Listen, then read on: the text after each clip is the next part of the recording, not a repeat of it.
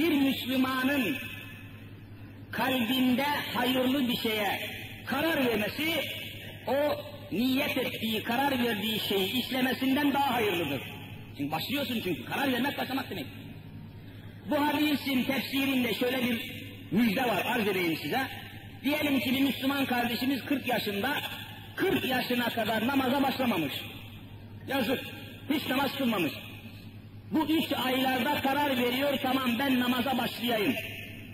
Geçmiş namazlarımı da tesbih edeyim, kaza edeyim. Diye bir karar, kalbinde karar veriyor. 40 yaşındaki Müslüman 15 yaşı çıkaracak. Hani çocukluk çağı, buluğa, erginlik yaşına kadar 15 yaş, onu sil. 40'tan 15'i çıkarırsan ne olur? 25 sene kalır. Demek ki senin 25 senelik namaz borcun var. Karar verdin, ha kaza edeyim başlayayım. Karar verdin, başladın.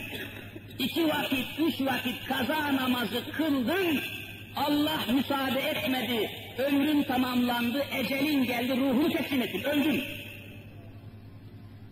Öldün, henüz bitmedi ama başladın, niyetin kararın buydu. Rabbül Alemin buyuruyor ki, kat'i bu kalan namazlarını kaza etmeye ve bir daha namazını bırakmamaya karar vermişti, niyet etmişti. Niyetin mümini hayrü min ameliha sırrınca ben bu niyeti kabul ediyorum, bütün borcunu siliyorum buyuruyor. Allah'ın rahmeti. Karar ver evvela.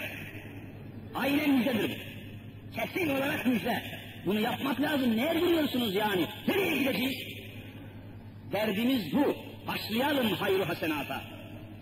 Allah razı olsun tabi yine bu arada çok böyle duygulanan, hareketlenen, çalışan, kıpırdayan kardeşlerimiz